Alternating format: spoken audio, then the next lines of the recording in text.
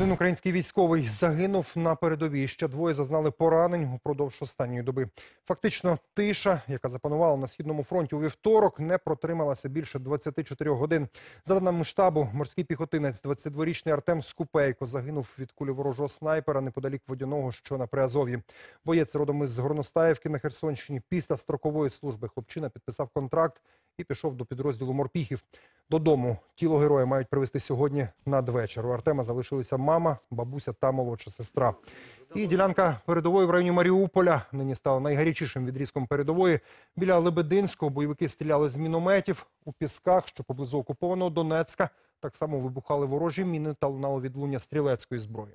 Водночас аналітики групи інформаційний спротив нині повідомили, що останніми днями бойовики значно посилили повітряну розвідку.